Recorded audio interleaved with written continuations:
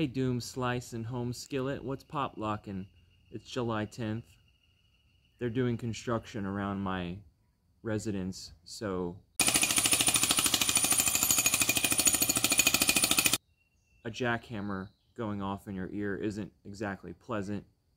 So here I am. I debated going to another trail or downtown. FOMO. It's a thing. But as long as you're enjoying yourself, you have a reason to live. And I want to backtrack for a second and clarify what I meant by indicating that I think I sound like an idiot. That's a projection. Also, what I meant by that is my voice sometimes reaches a little higher treble or octave than I'd like. I watched this TED Talk published a few days ago I watched a TED talk, aren't you proud? And a guy that's extremely incapacitated, deformed, and yet they're able to connect wires to his brain and use his vision to track what he's seeing and make movements, control robots. You know, it's all very fascinating, right? I'm into neuroscience. I watch Huberman podcasts. So I'm educated. No.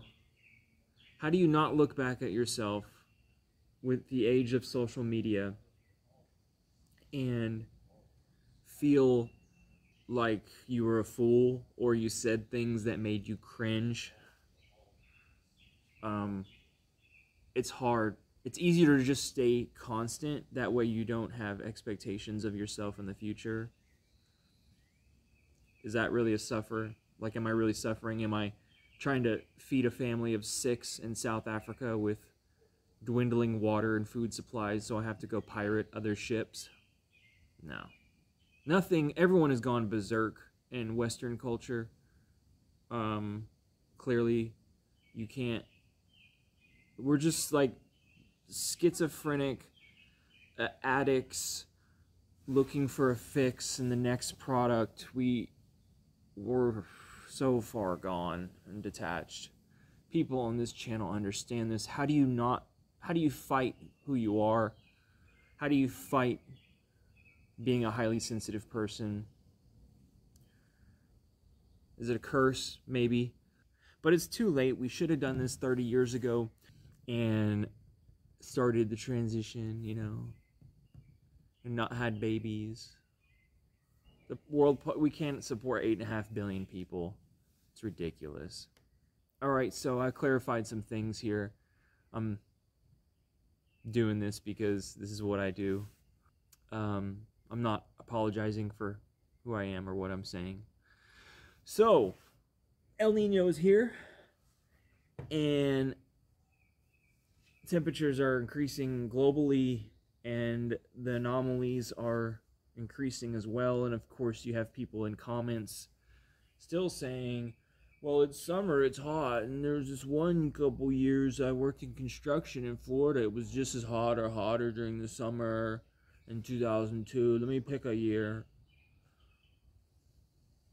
Because they don't have, they have smooth brain. They don't have critical intelligence, critical thinking skills to rationalize events happening over long you know, semi long periods of time. In this case, it's abrupt. You know, they have five guys in London now? Damn, they're everywhere. Get it without the bun. Get it a lettuce wrap only. And don't even get the meat. Just get lettuce and veggies.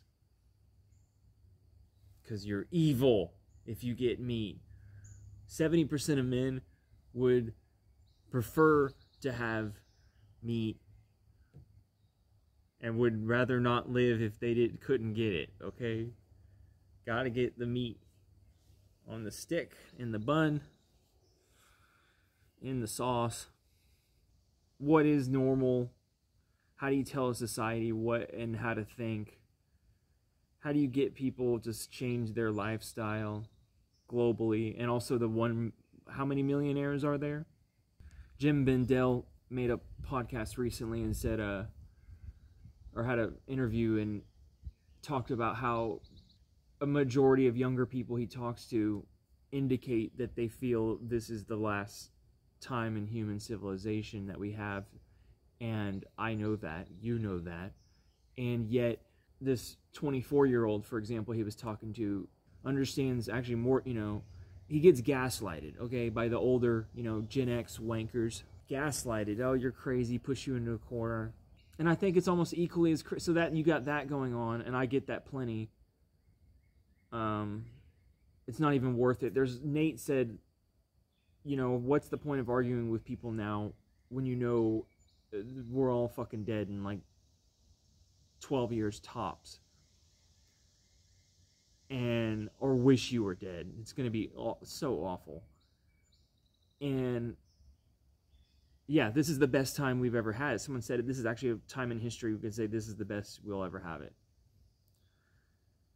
Um, food still on the shelves. You know, yeah. What's your worth? What's worth arguing with people? I just write "Don't look up." I just write a phrase "NTHE" or something. I just don't even. It's not even worth your your time and energy to argue with people. And I've said this many times on this channel even with your friends and close like family like it's just not even just just separate yourself from the bullshit from the neurotic um insanity that others like to spew on you. Just set distance yourself you know.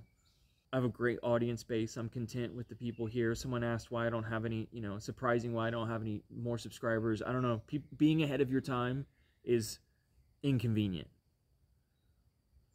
It's just yeah. People cannot i realize now even years ago when i would approach people and try to talk sense into them about the ways that we're living our lives and i mean strangers on the street you know close friends whatever at that time and how just foolish and insane. To them i sounded like a crazy person but it's just now catching up with them three or four years later when we're hitting record temperatures every day around the globe um, and it's front page news that you know it's a crisis along with the war in Ukraine, you know, they will remember that little nugget in their head. They talked to that that environmentalist Reagan character, Doom Wizard. All right, I'm gonna go back to surfing the web and doom scrolling and looking for fun things to do. I think there's a, a street festival coming up, a Taste of Akron. I like food. Okay, I like trying different foods from around the world. And I agree, taking reminding me of food, I, I immediately think of Anthony Bourdain and food co- travelers, how, you know, really? You couldn't have waited a few more years until fucking civilization collapses like the rest of us? But no, you just you just end it early. Is it that miserable? No, I quite enjoy the smell and the sound of birds. Yeah, go feed the birds. Stop worrying. That's what she says. Stop worrying, I worry too much. Well, you're clearly not digesting the information and realize that, you know, we've been given a death sentence. Okay. Enjoyed my time. Enjoy your time. Right on, Doomers.